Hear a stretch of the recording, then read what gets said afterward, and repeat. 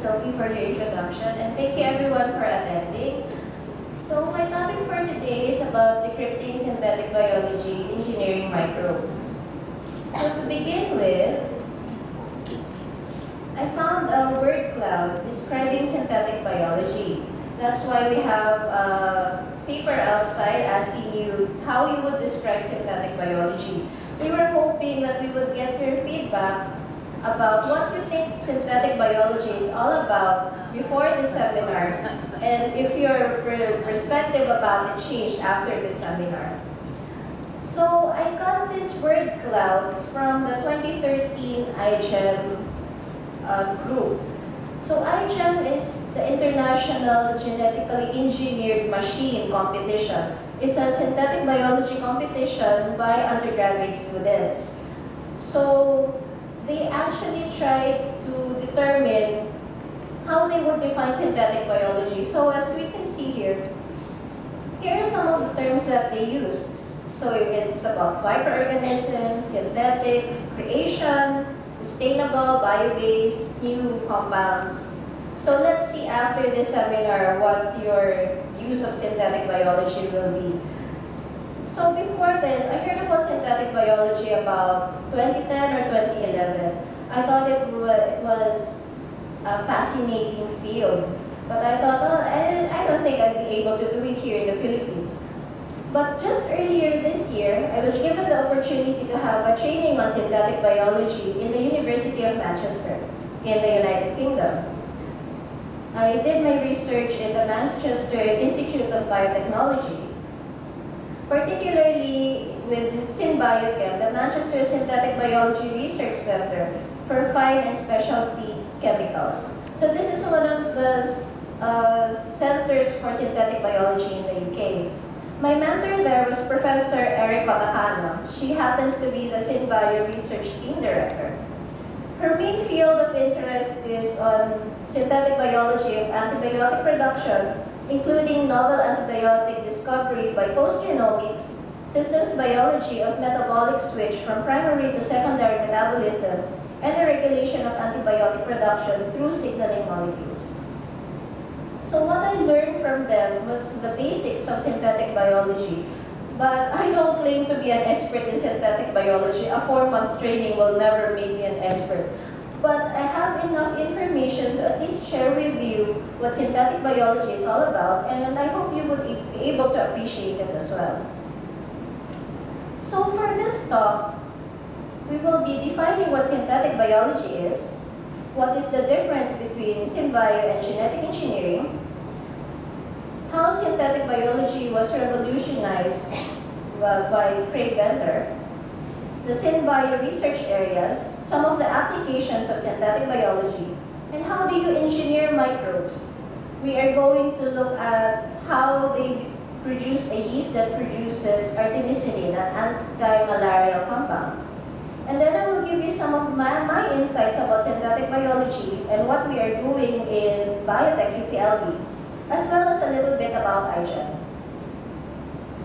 So let's start with defining synthetic biology. So I lifted the definition of synthetic biology from the scientific communities of the European Commission, and also the definition that was given by the University of Manchester. So synthetic biology is the application of science, technology, and engineering to facilitate and accelerate the design, manufacture, and or modification of genetic materials in living organisms. So it's the creation of new biologically based parts, devices, and systems, and or the redesign of existing natural biological systems for useful purposes. So it applies engineering principles of iterative design, build, test cycles, and plug and play. So how is synthetic biology different from genetic engineering? So the first thing is synthetic biology adapts the classical engineering concepts such as standardization, modularization, orthogonality, and refactoring. So these concepts allows for increasing programmability and robustness. wherein programmability is defined as the ability to tightly control a biological system to generate specified tasks and enables precise quantification of an output or response when a specific input is given. And robustness is the stability of the engineering unit with consistent performance that is independent of where it is implemented. So for the engineering concepts, let's just define them. First of all, for standardization, this aims for standardization of nucleotide sequences for easier engineering to facilitate the exchange of engineered sequences between research groups. So when we say standardization, it's like your screw. So each screw, it has a specific, um, the, the distances of the threads, the sizes of the threads, to enable you to just buy a screw from your hardware, use it in your home, you can use it in your office, you can use it in the Philippines, you can use it in any country because it has standardized measurements. So they're trying to do the same thing with synthetic biology. They want to have a standardized construct, standardized host organism, standardized restriction enzyme, so it would be easier for you to exchange material. For example, if I have a clone here in UPLB, I can easily exchange clones with UP Diliman or with the University of Manchester because we are using the same uh, construct, the same design for your organisms and for your genetic uh, parts. So the next one is modularization.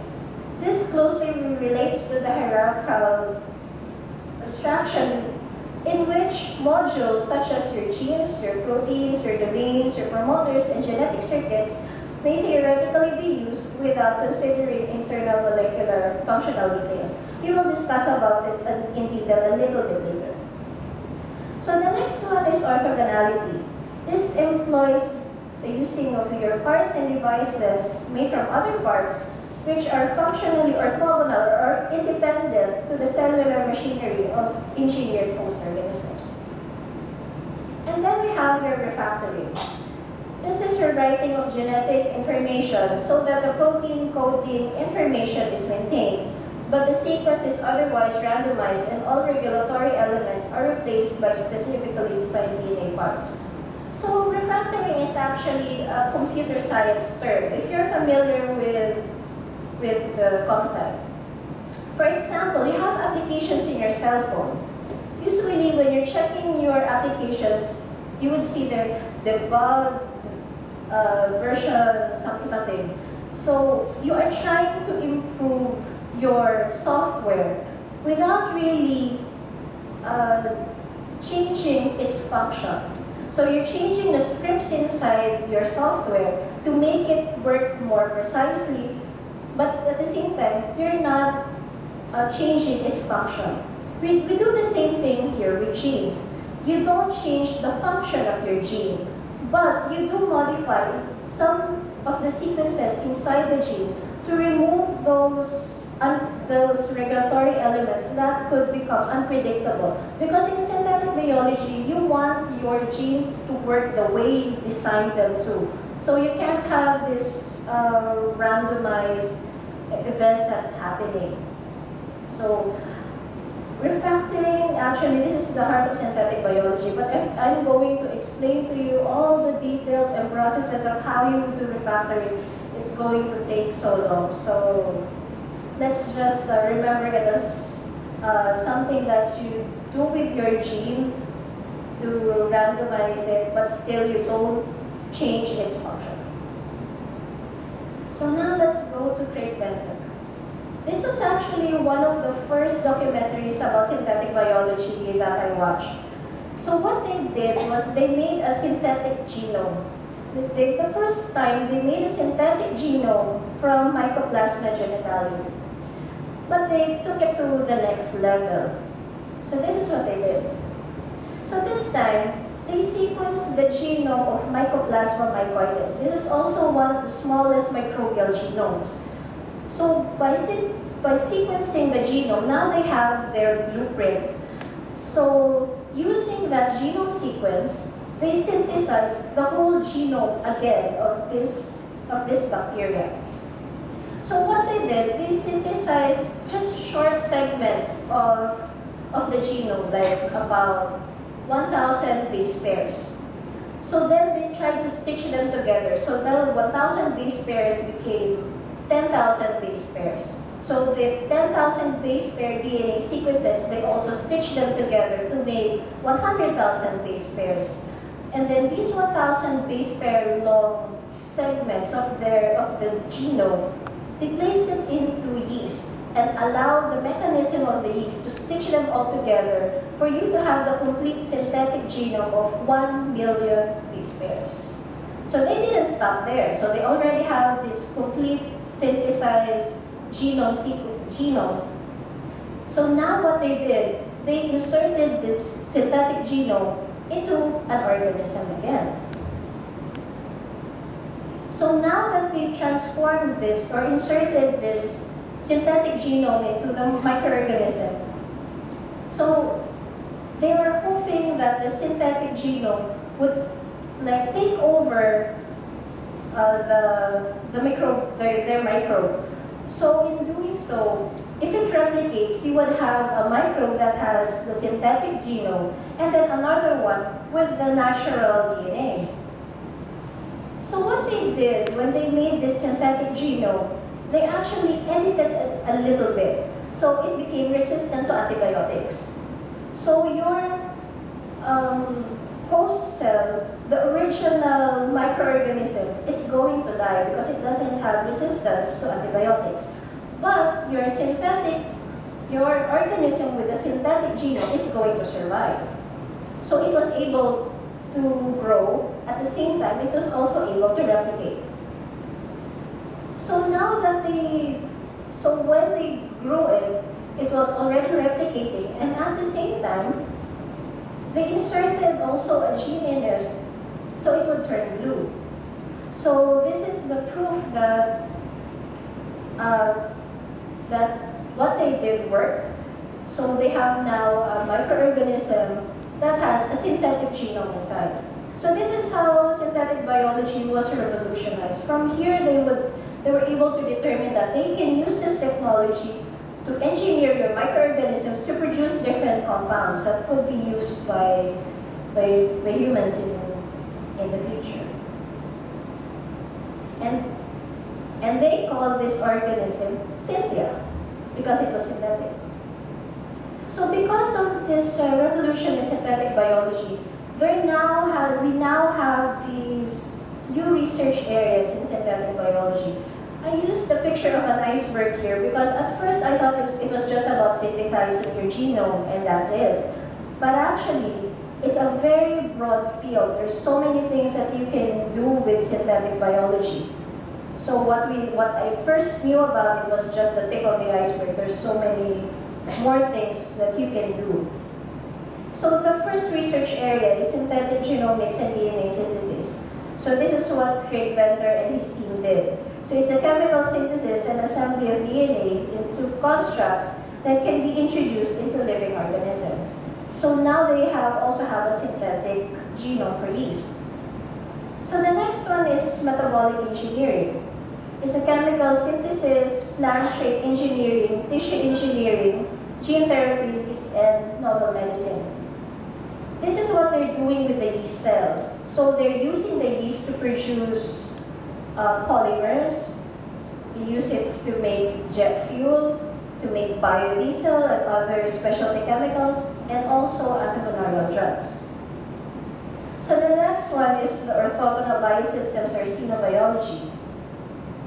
It is for the, to design alternative biochemical components for bioengineering. So if you have your DNA, now they have TNA. So they replace your deoxyribose with threose. You have GNA, you replace it with glycol. And they have HNA, with, they replace it with hexose. So the last one is for protocells. So these are the containers or chassis into which your synthetic heritable material could be introduced, resulting in novel living self-replicating organisms. So if you have um, a syn new synthetic bio biochemical pathway, you also sometimes need to engineer your host. So that will be in, it would enable it to produce more of the target compounds that you want to.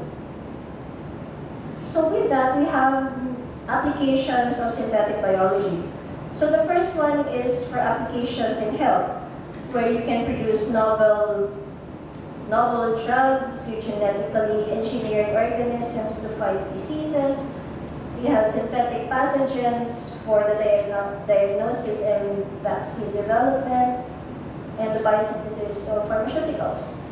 There's also applications for the environment where you make uh, environmental biosensors. Also for bioremediation and production of environmentally friendly chemicals for renewable sources. And also for energy and biofuels, where you design pathways for higher chain alcohols, for your isoprenoids, biodiesels, and the like. So how do you engineer microorganisms? They treat the microorganism as a circuit in, in your computer. So you have all those chips, you have like a memory, you have all those things. So actually, this is what they do. So this is the part for your, what we discussed earlier about modularization. So your your cells, your DNA here, they are made of parts. Your parts would be there's your segment of genes that will have a specific function. For example, you have your promoters, you have your ribosome binding sites, you have your terminators, and of course you have your genes. So you can put together your parts to make a device. So example here, that one would be one part. So you can put together the parts to make a device. So you can put together your promoter with your ribosome binding site with your gene, and you would have a device. So your device would be that one. And then you can put together devices for you to make a circuit. Like that one, you already have four, so that's already a circuit. And if you have a lot of circuits, you can make a system, like this one, or all of these could be a circuit and the system. So the next thing that you have to do is to integrate your design pathway into your host cell for chassis integration.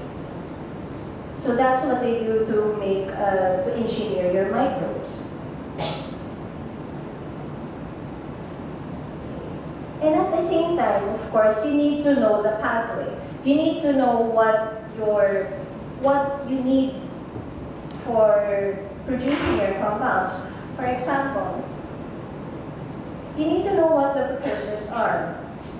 And then you need to know what cycle or what pathway you're going to use. Usually they use the glycolytic pathway for this. So if you're going to manipulate this pathway, you can produce like ethanol. You can produce the artemisinin, vanilla, resveratrol, butanol, and all these compounds. As long as you know the pathway of the host cell or, your donor organism, you need to know the pathway, how it produces a compound, and then try to integrate it into the pathway that is used by your host cell for you to engineer your cell to produce a compound that you want. So aside from that, they use the engineering cycle for for the production of your engineered microorganisms. So the engineering cycle makes use of the design, build, test, and learn cycle. For synthetic biology, your design would be how you define a problem, choose the pathway, choose the host cell, and then you modify your host. So for build, you have to know how you assemble your parts, and how to do combinatorial assembly. And then for test, you, you determine if you're producing the compound or not by LCMS, by screening and automation. And for learn, you have to know, you have to check the pathway analysis, your design for your experiments, and your design rules. So in order for us to understand how we engineer microbes, let's focus on one of the first synthetic biology compounds that has been commercialized, which is artemisinin. So this was brought about because of malaria. As we know, this is one of one of the major diseases in the world. It's transmitted by mosquitoes and it's caused by the Plasmodium uh, organism. So a lot of people has been affected by this.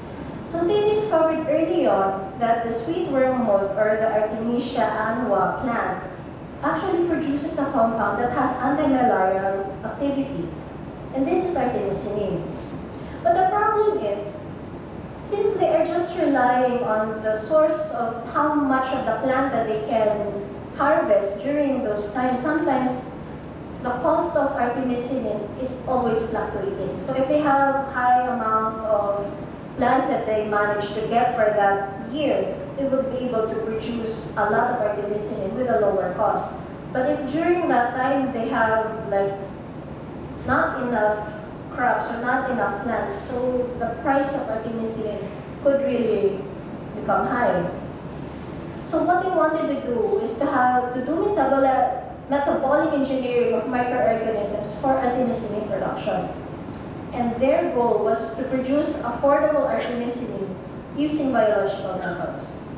So in order to do so, they checked out how the plant produces artemisinin. So what's important here is that your plant uses this pathway for the production of FP. So your FPP, you need this for the production of your amorphidine.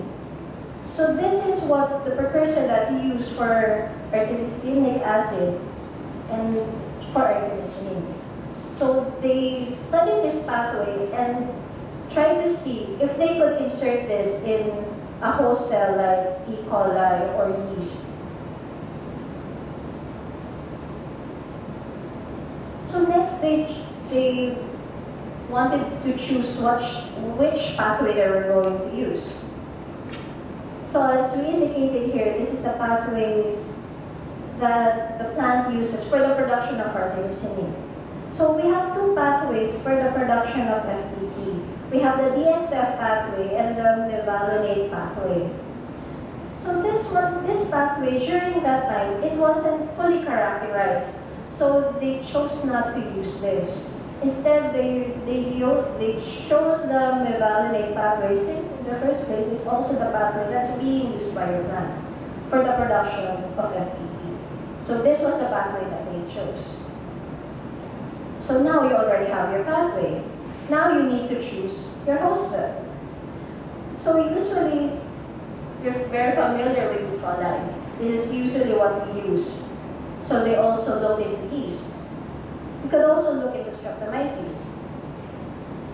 But the problem here, because your E. coli and your streptomyces are both prokaryotic cells, it usually doesn't have the coenzymes or cofactors that a plant or eukaryotic cell would need for the production of these compounds. So, so they chose to use yeast as the host cell.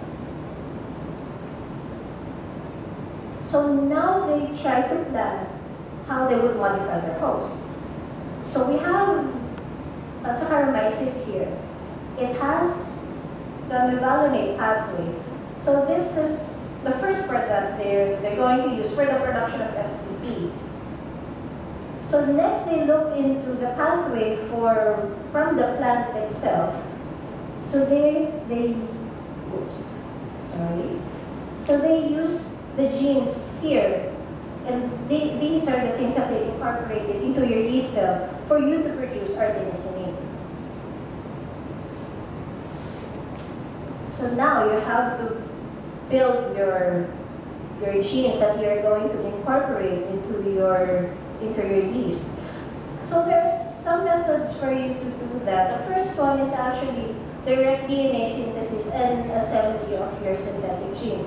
So actually what they do here, they just program, put it in the computer, and then use just synthesize it. So it's going to arrive to you at your doorstep in powdered form in a tube, and that's it. You don't have to worry about anything anymore.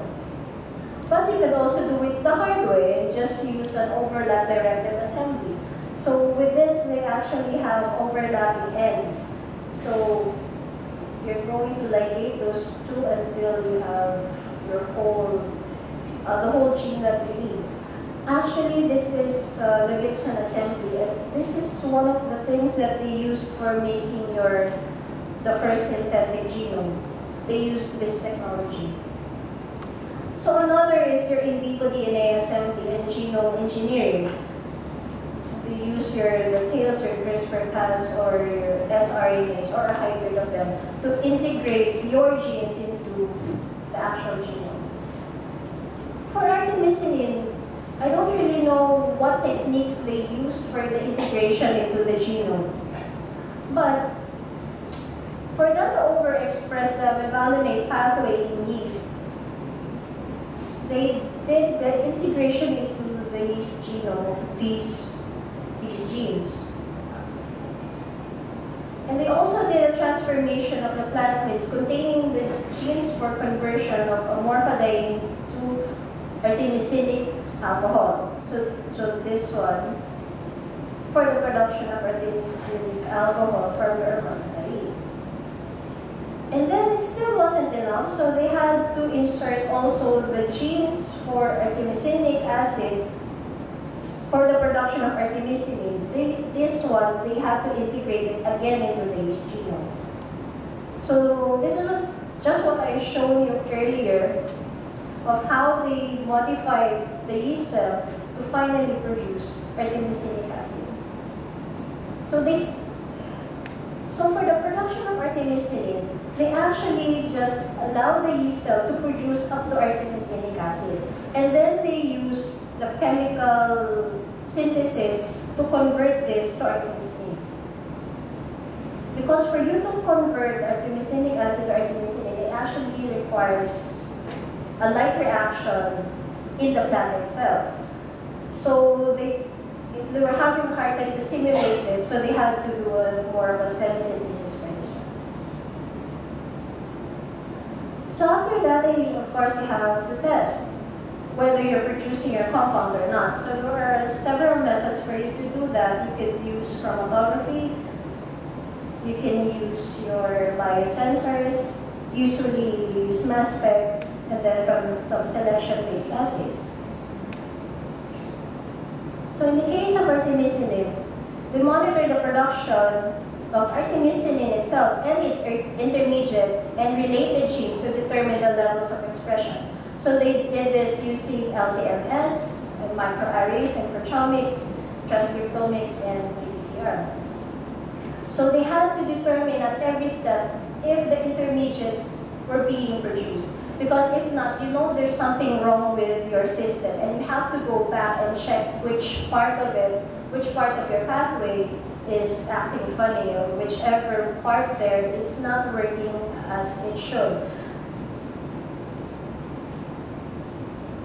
So this is the whole, well, actually part, of the story of how they were, they were able to coax the yeast to produce artemisinin. So first they chose a yeast strain. And then they added the genes for amorphidine production. And their target was for it to produce 40 grams per liter of amorphidine. Because this is the concentration that you need in order for you to produce artemisinin at an affordable price. So now your yeast cell is already producing amorphidine. So now you need to insert your genes for hydrocarbon oxidation. So this allows your yeast now to produce artemisinic acid. The problem was it had low titer and low viability. So now they had to so now they had to improve the cytochrome P for T for the oxidation. So they had to insert these genes again. So now you have another yeast cell that produces artemisinic acid, but the titer was still low, although the viability already improved. And they found out they have the accumulation of pathway intermediates, so this still isn't viable. So what they did, they introduced uh, genes again from the plant for them to finally be able to have a yeast cell that produces artemisinic acid at 25 grams per liter. This was their target.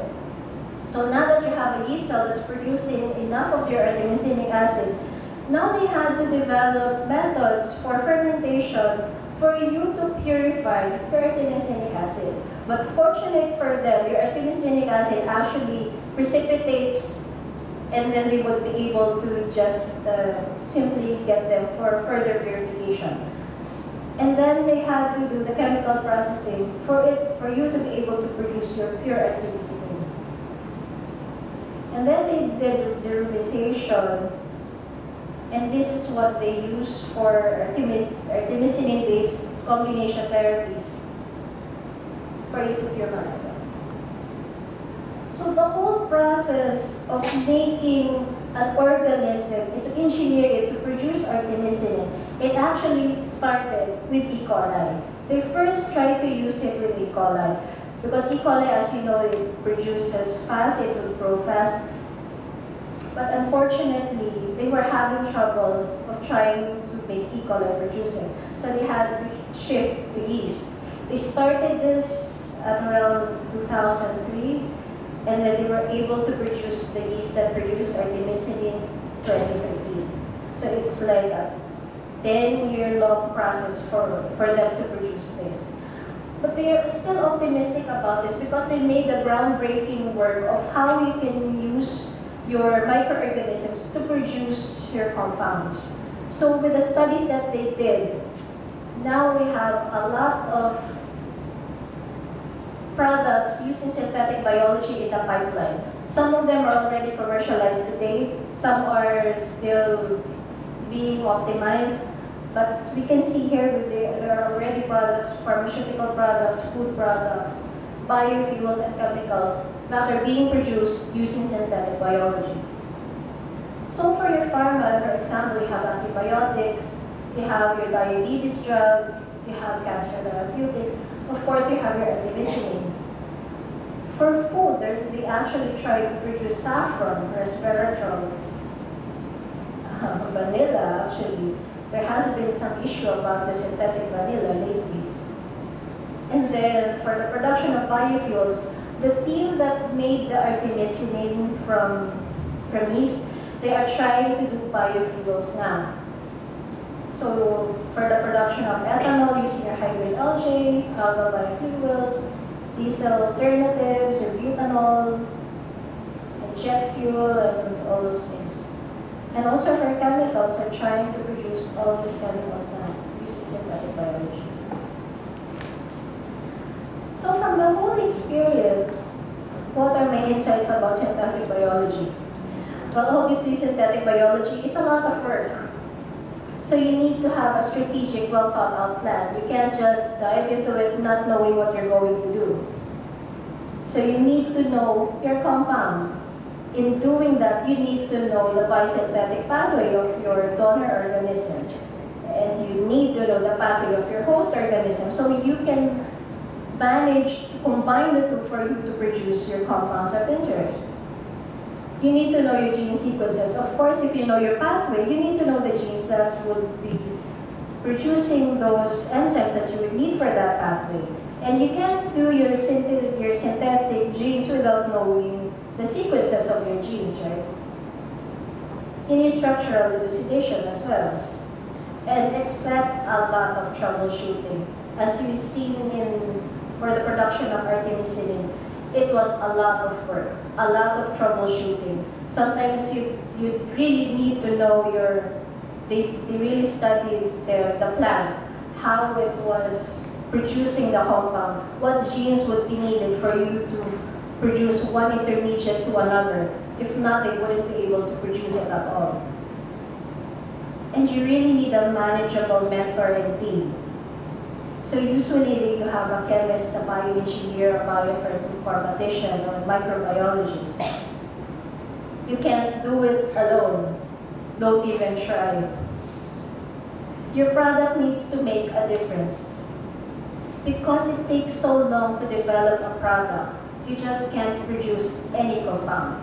And it's already very, very expensive. If, if it would take you 5 to 10 years to produce a compound, you should make sure that it is worth producing. With that, you need a lot of funding, like really a lot of funding.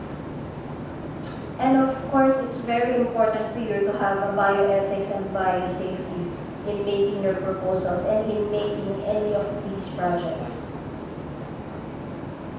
So what are we doing right now in biotech? We're not really doing synthetic biology in biotech, but we are trying to do like the preliminary things that you need, like your blueprints in if ever we want to do synthetic biology in the future.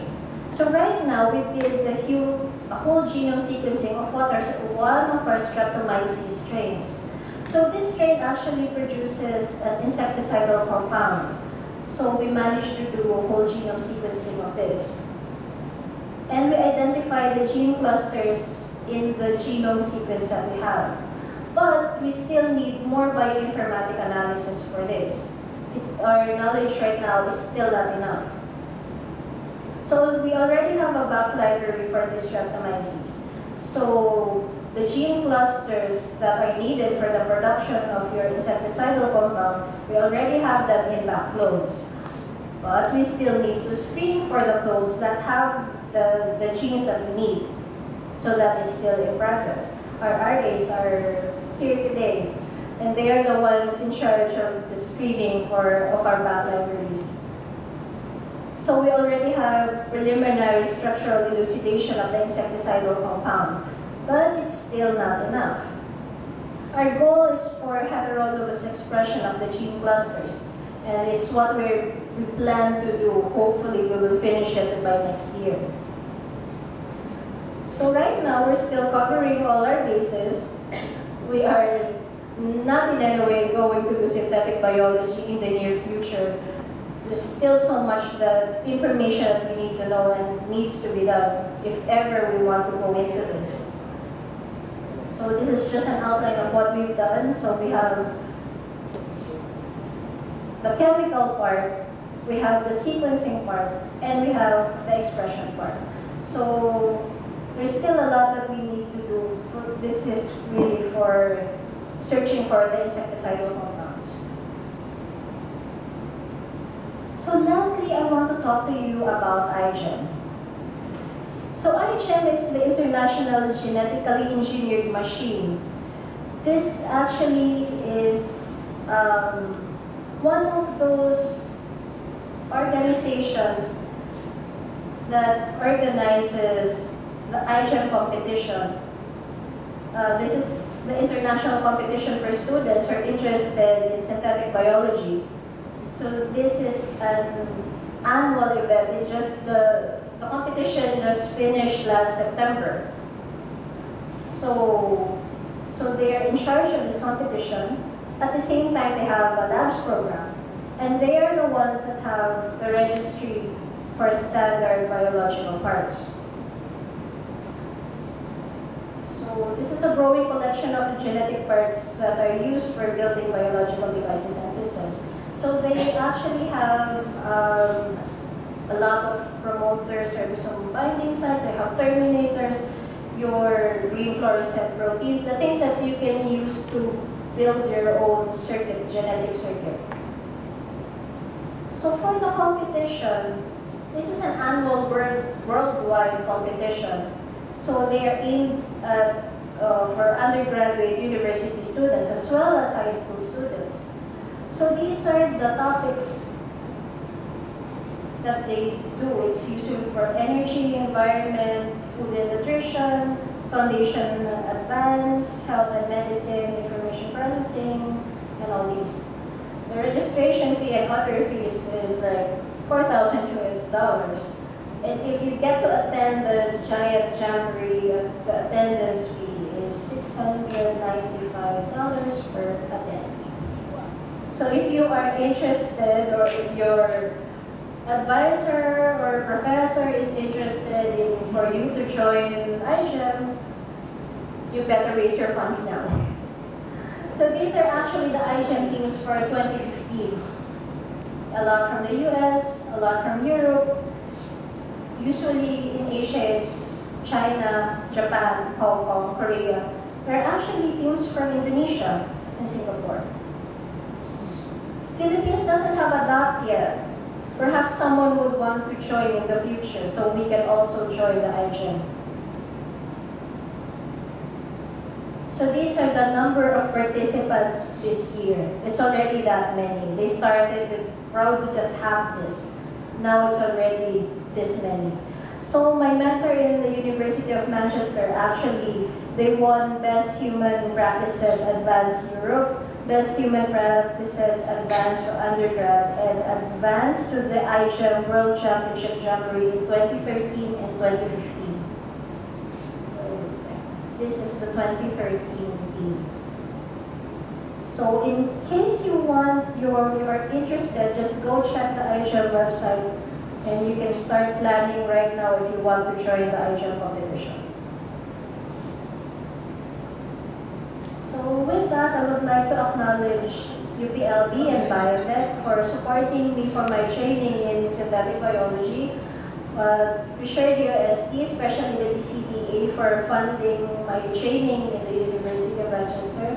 So University of Manchester, MIB, and the Takano Group. These are the postdocs and thesis students that I was working with uh, from the past uh, few months.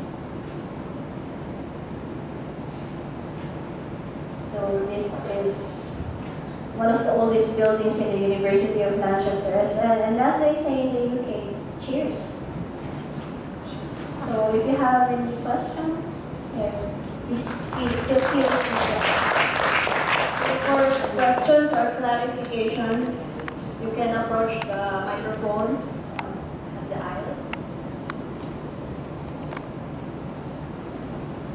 So no questions. Over. Ah, yes, Dr. Mendoza Thank you very much, uh, Ivy, for a very interesting, very informative uh, uh, seminar. So as uh, your seminar, uh, as you also said, uh, this kind of work really needs a very, very strong team. Uh, it's a teamwork. You cannot do it by yourself. Yes.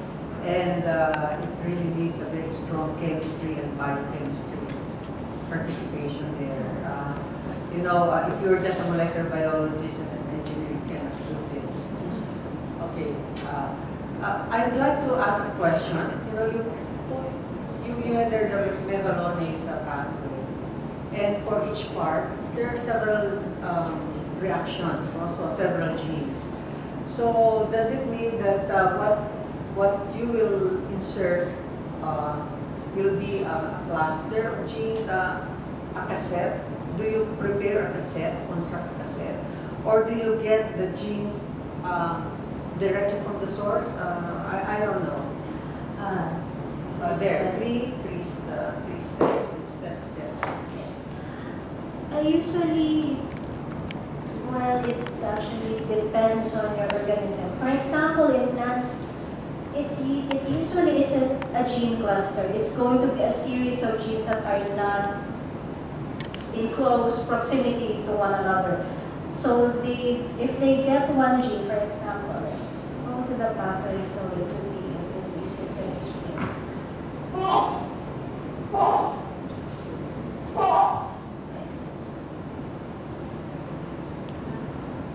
Just go this way. This way. For example, we, we already have, we need this gene, your ADS gene, for the production of of amorphodiene. So what they did here, they had to edit this gene to insert it into the cell. So usually what you do, since this is from plants, they had to codon optimize the gene for it to be used in yeast. So so your plant has its own codon preference. So they did synthetic biology here by synthesizing the genes wherein their codons is optimal for, for the yeast. So they had a synth- synthetic gene here. It still codes for your ADS, but the sequences inside, the codons that you use is for, for yeast. But I think here for uh, for the production, for the overexpression of uh, for the overexpression of FPP, they made a cassette, I think, for this one, and then inserted the whole thing into the genome. For this one, they just used a plasmid, so this is just outsider cell. For example, in like um, in what we plan to do for streptomyces, streptomyces has gene clusters, like about, uh, depending on the type of cluster, it could be 40 kb to 80 kb. So it's really that long. So, so for the case of streptomyces, they have to insert the whole cluster into your host to produce your compound. But I think with the case here in, in yeast, you probably made a cassette for this part and then just made a plasmid for this part. Um, Yeah, but you, mentioned that it's like engineering, and you, you make parts and make them standard so that can use this for other, you know, for other purposes. Uh, so I was thinking that, you know, if uh, for, for um, certain reaction which consists of several, not just, hindi pala one reaction, you know, there are several enzymes involved to get to some place. Probably it could be really a cluster itself that you can transform because otherwise you'll be transforming so many. If you have 10 enzymes, you transform with 10 enzymes, uh, 10 genes. So that's very, it's going to be very, very laborious. And also, of course, you do uh, change the codon, the codon because of the codon preferences. No? And even in genetic engineering, you do that. Even with one gene transfer, like the big, the very uh, classical, now it's not classical, the toxin gene from ET, that was uh, uh, changed. I mean, the codon was changed so that it will be more acceptable to the plant. Yes. So very interesting. Thank you very much. Are there any more questions?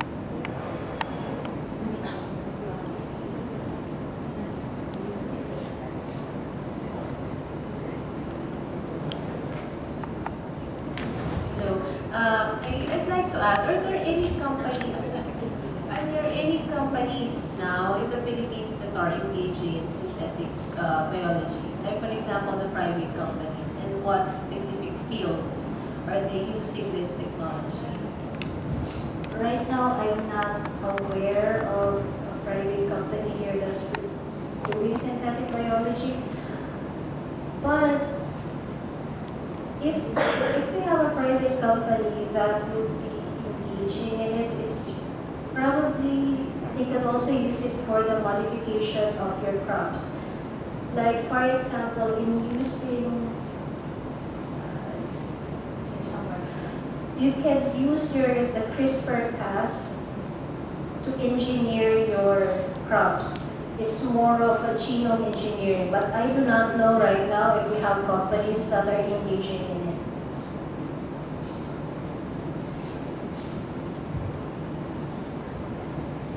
Dr. Lavico. Okay, um, again, I also appreciate the very informative lecture that you've given, Annie. Congratulations. Uh, I would like to ask, see, you said that whenever standardized is, uh, it uses the classical engineering concepts like being standardized, modularized, modularized, and so on. Uh, like the BTG has, it's very classic now that it can be used for different organisms to introduce uh, the pest resistance. So would we consider it as a, a, a point that's uh, working, uh, that eventually be considered a synthetic, synthetic biology product? For like the BT. The BT, yes. Because it can be incorporated already to different organisms. It's been very, construct has been very classic that, uh, meaning it has been standardized, that it can be used for, uh, incorporated through genetic engineering into different organisms. So would that classify as synthetic? I guess what they define right now as synthetic would be you are your gene is completely synthesized. So it's it's like a genie in a bottle where you have your ETGC and just use those different uh, bases to produce your synthetic gene. So in, in addition in addition to that, we use different um, um, different ways for you to introduce it into your target uh, organism. At the same time, usually in synthetic biology, you put together like a promoter with a ribosome binding site with your gene that is optimized for that, uh, for its function, for it, for it to be used in that pathway. So probably if you're going to make uh, a, s- a synthetic BT gene from scratch, then yes, it would be.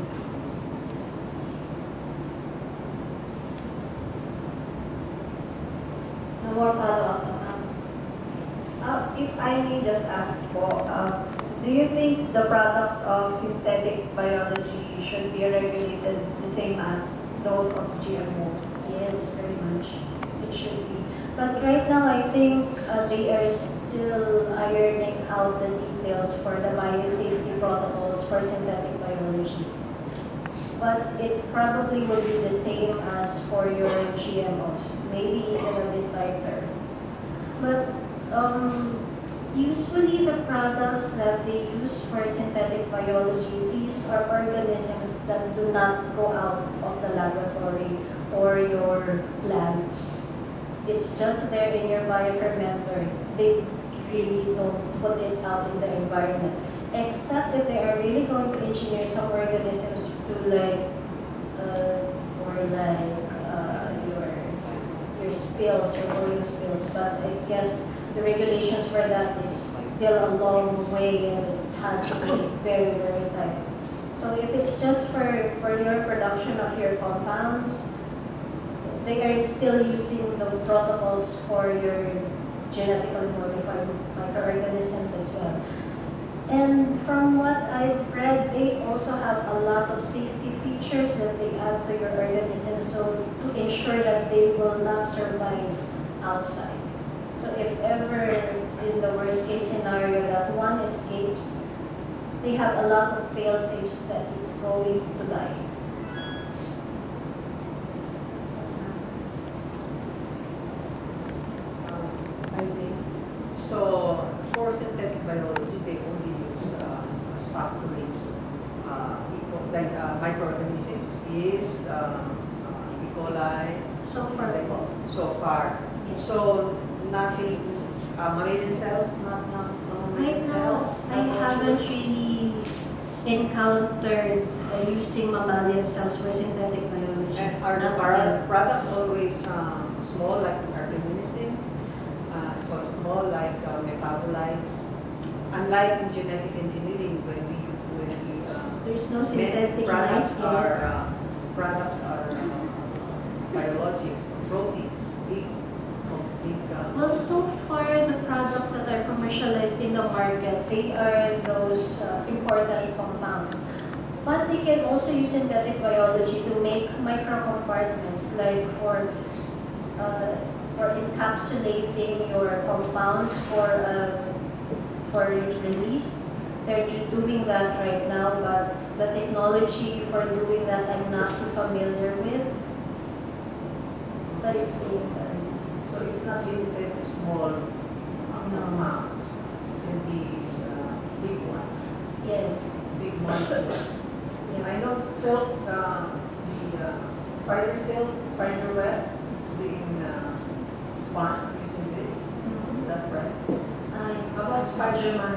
I'm not sure. I don't know yet if they're doing that for Spider-Man. Spider-Man. Yes, sir. Hello, I, I, I am interested about the product itself that's being produced by the synthetic organism. Is just, there, could there be any possibility that the product produced is structurally the same as that produced by, by the, by the donor, the host? Or as in parehas talaga? Or if not, Okay. Usually they produce the compound that would be exactly the same as the, the one that is produced by your native organism. However, you can also use synthetic biology to change one of the RH groups, uh, R groups of your compound. For example, I, I was able to attend one of the conferences about synthetic biology in Norwich. They have this huge compound, very, very big compound. It's like it, it's the whole screen, very huge compound. But they changed just one of the R groups in that compound. They, I think they changed it to OH or something. And it has a very big uh, change in its activity. So for them to produce that kind of compound, it's usually in, I think it's one of those gene clusters. So it's a very, very long gene. It's, it's really a cluster. So each each gene would have a specific function. It would, this one, for example, would cause your reduction. This one would cause um, the addition of your OH or something. So they edited just one part of that cluster. They edited one gene, changed it from a reduction, for example, to a condensation. And it produced a different structure entirely.